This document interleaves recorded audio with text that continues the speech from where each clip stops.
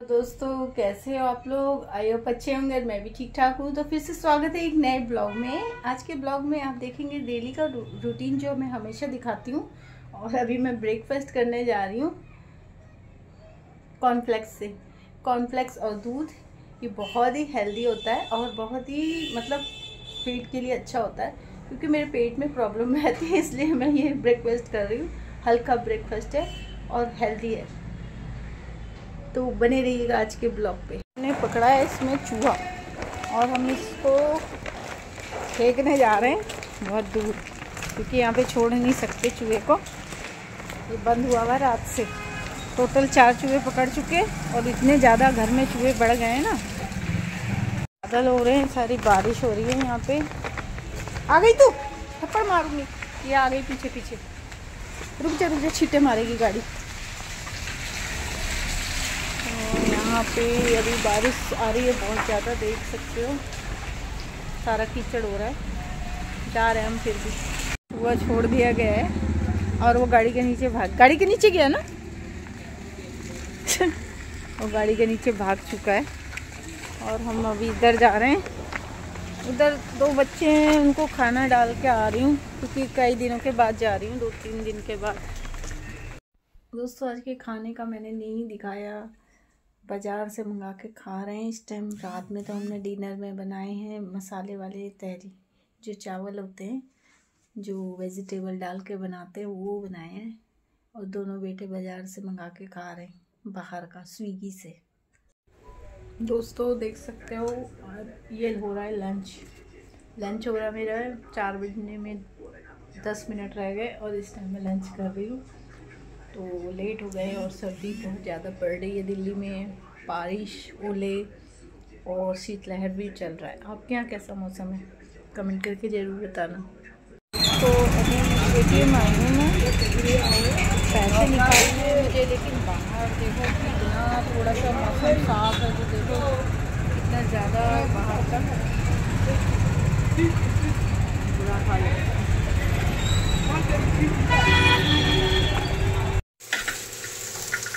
सोया मलाई चॉप बना रहे हैं आज हम और ये देख सकते हो, इस चॉप को हम फ्राई कर रहे हैं। तो अच्छे से डीप फ्राई कर सकते हैं। जैसा आपको अच्छा लगे, हम डीप फ्राई करके बनाते हैं। और हमने थोड़ा सा ये काटा है कैप्सिकम, शिमला मिर्ची, और ये मसाला तैयार हो रहा है इसका। इसमें है गोल मिर्च तेज पत्ता तेज पत्ता, बड़ी इलायची, हरी मिर्च, काजू, प्याज और छोटी इलायची, बड़ी इलायची। इसको अभी हम मिक्सी में पीसेंगे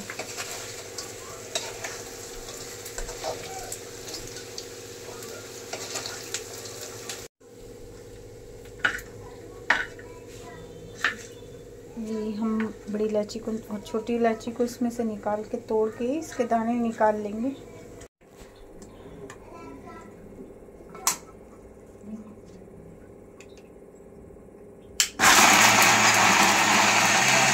हमारी मिक्सी का ढक्कन टूटा हुआ है, इसलिए हम कटोरी लगाते हैं।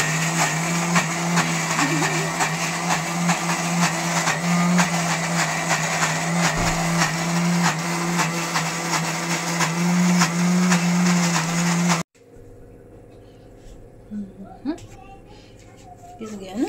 हाँ। हमने ना लाल मिर्च डाल दी ना उससे लाल लाल आ गया कलर हाँ वो तो क्रीम वगैरह डालेगा ना तो क्रीम का हो जाएगा। बटर वगैरह क्रीम वगैरह तो डाली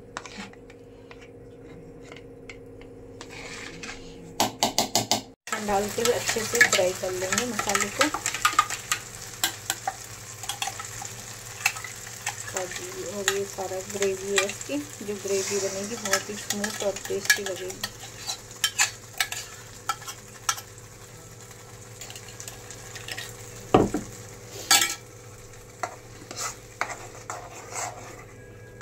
पानी डाल गुठली सी बन रहा है तो। गुठली नहीं है आपको लग रहा है। अच्छा है नहीं गुठली हाँ। ये भी डाल दें।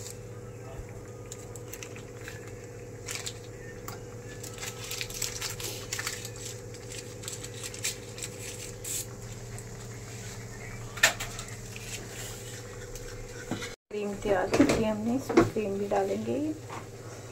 अमूल की फ्रेश क्रीम ही। ये हमारा मलाई सोया चॉप तैयार हो चुका है। वैसे ना ये कच्ची तो नहीं होगी, क्योंकि इतनी तो फ्राई कर है